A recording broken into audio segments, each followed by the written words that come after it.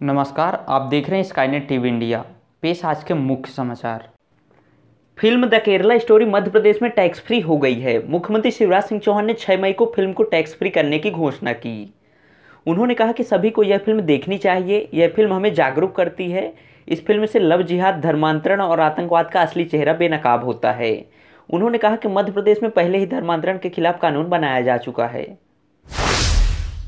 मुख्यमंत्री शिवराज सिंह चौहान ने ट्वीट किया कि द केरला स्टोरी लव जिहाद, धर्मांतरण और आतंकवाद के षड्यंत्र को उजागर करती है। उसके घिनौने चेहरे को सामने लाती है। क्षणिक भावुकता में जो बेटियाँ लव जिहाद के जाल में उलझ जाती हैं, उनकी कैसे बर्बादी होती है, यह फ़िल्म बताती है। आतंकवाद के डिज़ाइन को भी यह फ़िल्म उजागर करती है। मध्य प्रदेश शासन में आज से आठ नए आईएएस अफसर शामिल हो गए हैं। ये सभी अफसर 2022 बैच के हैं। मसूरी में ट्रेनिंग लेने के बाद उन्हें भोपाल में पदस्थापना के आदेश जारी किए गए। सभी नए आईएएस अधिकारियों को सहायक कलेक्टर के पद पर अलग अलग जिलों में पदस्थ किया गया है। श्री महाकालेश्वर मंदिर उज्जैन में निर्माण कार्यों के चलते मंदिर के सामने की ओर परिसर में अब अंडरग्राउंड कॉरिडोर की खुदाई का कार्य शुरू होगा। इसके लिए सामान्य श्रद्धालुओं की दर्शन व्यवस्था में भी बदलाव किया गया है। अंडरग्राउंड कॉरिडोर का निर्माण करीब एक महीने में पूरा करने का टारगेट दिया गया है। रीवा कलेक्टर प्रतिभा पाल ने कहा कि मध्य प्रदेश में मुख्यमंत्री जनसेवा अभियान के द्वितीय चरण का शुभारंभ 10 मई से हो रहा है। यह अभियान 25 मई तक चलेगा। इस दौरान सभी विभागों के प्रमुख शिकायतों का अनिवार्य रूप से शत प्रतिशत निराकरण करेंगे। ज़िले के प्रभारी मंत्री नियमित रूप से रोज़ाना आवेदनों के निराकरण की समीक्षा करेंगे।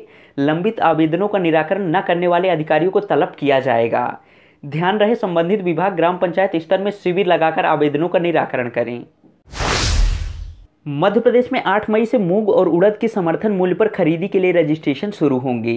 किसान 19 मई तक ग्रीष्मकालीन मूंग और उड़द फ़सलों के पंजीयन करवा सकेंगे। कृषि मंत्री कमल पटेल ने बताया कि प्रदेश के 32 जिलों में मूंग एवं 10 जिलों में उड़द के समर्थन मूल्य पर खरीदी हेतु पंजीयन किए जाएँगे। सरकार ने उड़द का समर्थन मूल्य छाछठ सौ रुपये और मूंग का समर्थन मूल्य सतहत्तर सौ पचपन रुपये प्रति क्विंटल तय किया है। इस भाव में किसान अपनी फ़सल बेच सकेंगे।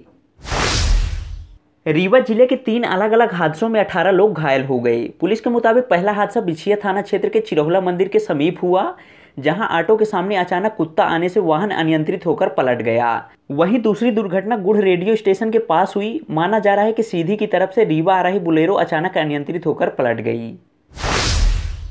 इसी तरह तीसरा हादसा गुड़ थाना अंतर्गत नर्राहा के पास हुआ। पुलिस का कहना है कि दो वाहनों की आपस में भिड़ंत हो गई थी।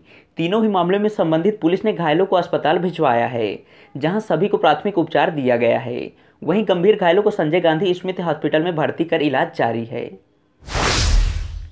मुरैना के लेपा गाँव में शनिवार को छह चिताएँ एक साथ जली। मृतकों के परिजन की सिसकियों के साथ ही पूरा गाँव मातम में डूबा रहा। इस दौरान गाँव में पुलिस भी तैनात रही। दरअसल, लेपा गाँव में शुक्रवार को 10 साल पुराने विवाद के चलते एक ही परिवार के छह लोगों की हत्या कर दी गई थी। पुलिस ने हत्या के दो आरोपियों को गिरफ़्तार कर लिया है। फरार सात आरोपियों पर दस दस हज़ार रुपये का इनाम घोषित किया है। मणिपुर में मैतई आरक्षण विवाद को लेकर बुधवार से भड़की हिंसा में अब तक चौवन लोगों की मौत हो चुकी है।